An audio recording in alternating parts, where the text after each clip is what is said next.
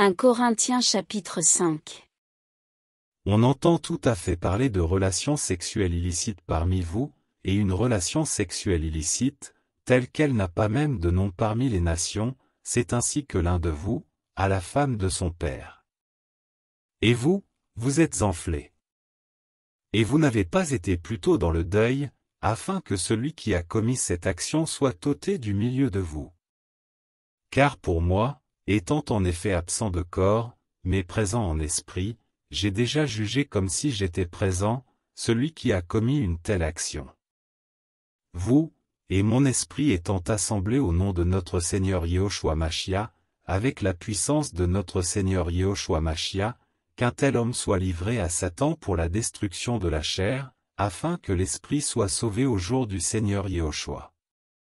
Il n'est pas beau, votre sujet de gloire. Ne savez-vous pas qu'un peu de levain fait lever toute la pâte?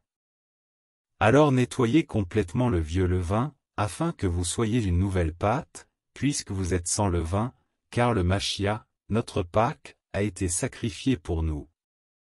C'est pourquoi célébrons donc la fête, non avec du vieux levain, non avec un levain de méchanceté, et de malice, mais avec les pains sans levain de la sincérité et de la vérité.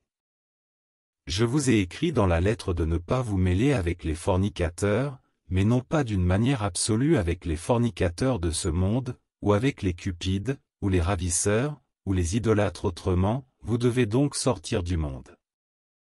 Mais maintenant, ce que je vous ai écrit, c'est de ne pas vous mêler avec quelqu'un qui se nomme frère, s'il est fornicateur, ou cupide, ou idolâtre, ou railleur, ou ivrogne, ou ravisseur, de ne pas même manger avec un tel homme. Car qu'ai-je à juger ceux du dehors? N'est-ce pas ceux du dedans que vous avez à juger? Mais ceux de dehors, Elohim les juge. ôtez le méchant du milieu de vous-même.